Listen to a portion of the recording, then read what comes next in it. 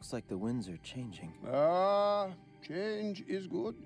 Yeah, but it's not easy. I know what I have to do, but going back means I'll have to face my past. I've been running from it for so long. Ow! Jeez, what was that for? It doesn't matter. It's in the past. Yeah, but it still hurts. oh, yes, the past can hurt. But the way I see it, you can either run from it or learn from it. Ah, you see? So what are you going to do?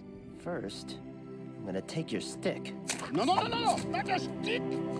Hey, where are you going? I'm going back! Good. Go on, get out of here.